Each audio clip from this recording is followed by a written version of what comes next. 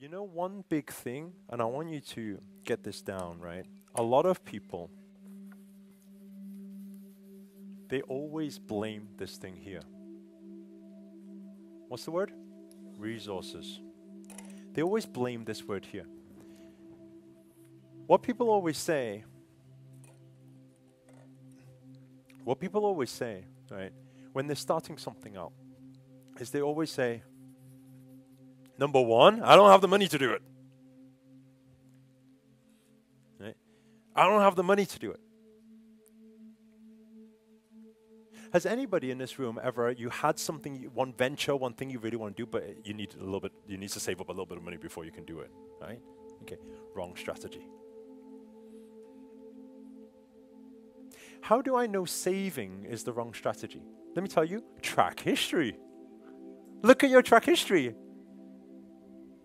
You see all savers, savers, savers, you've been saving how long? And you haven't saved up yet? How likely is it that the next three months or 10 months, are you going to save up enough? Not very likely. Wrong strategy. Because let's look at, we said before, we said success leaves clues. Let's look at the most successful, most wealthiest of people out there. Right? It's never this thing. It's never the lack of money, right? There's this saying, and I want you to write it down. Yeah? It's never the lack of resources. It's only ever the lack of resourcefulness. What does that mean? If you don't have the resources, what do you do? You find the resources. But a lot of people they're using the wrong strategy. I want you to I want to I want you to start understanding the money game. Because school didn't teach us the money game. School taught us our subjects, algebra, which is, I still don't know what it is, but this is important, right? And all these different things. And it's to get a, so that you get a qualification so you can get a job. And then when you get a job, then hopefully one day retire early. and that's, that's like the, you know, when you ask most people out there what your dream is? If I can retire early, that's their dream. Now, what does that even mean? It means that can I, if I can enjoy life at the end of my life, that's my dream.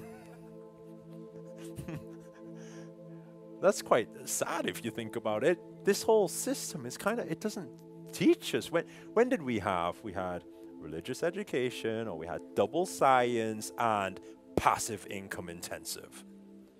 Financial freedom. We never got that. But money is the most important game. We're playing it every single day but we don't know how to play it. Right?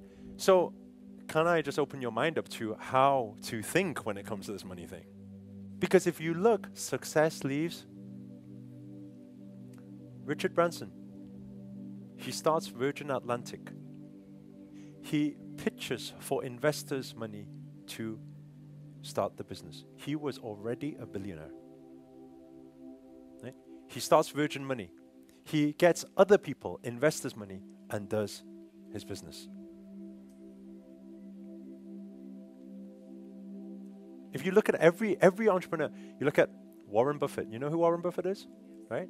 Nearly the richest investor out there, right? Multi multi billionaire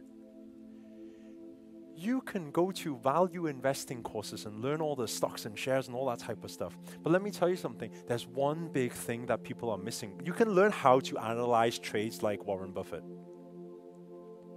But after that course, after that seminar, you go home, you're gonna be like, okay, I can think like Warren Buffett.